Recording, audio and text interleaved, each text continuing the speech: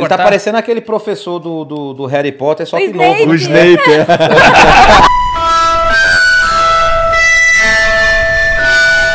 Caralho, aquele cara é horrível. Então perceba como seu cabelo tá.